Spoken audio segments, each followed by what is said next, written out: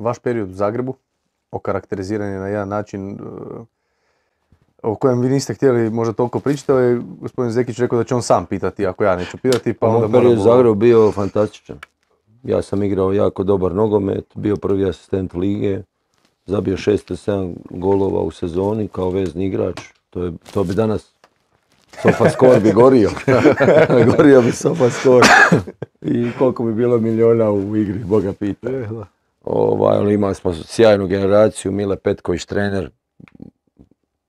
O, to je bilo ubijačina, što se kaže.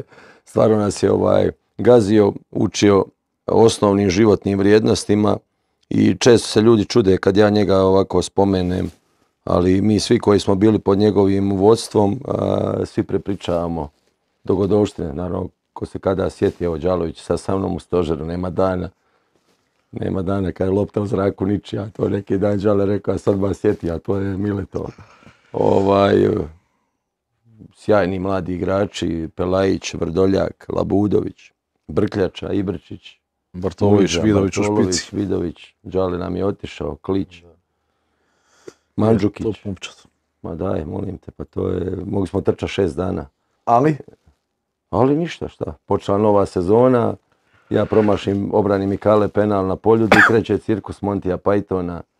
I šta ćeš, zakačim se s predsjednikom kluba, jer ne dam na sebe, neću nikad ni dati. I, i ništa, odem nakon godine i dva mjeseca odem u CSKA i Sofije, transfer. U međuvremenu dobijem poziv za reprezentaciju Bosne i Hercegovine jer je Bakar Slišković bio izbornik i on je vodio paralelno i Hajduk i imao je najbolji uvid. A stvarno sam igrao dobro i možda sam mogao još, da, sam, da nije bilo tih nepredviđenih okolnosti, bilo, bilo bi jako zanimljivo to iduće prvenstvo kad je pokojni Kuže vodio Dinamo koje su oni poslije s onom generacijom doslovno pregazili. Ali ova, i na kraju krajeva ti momci su napravili svi ozbiljne karijere.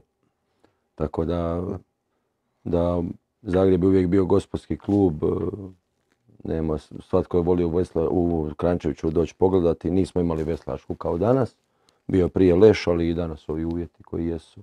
Šteta što se to tako sve srozalo, ajmo reći.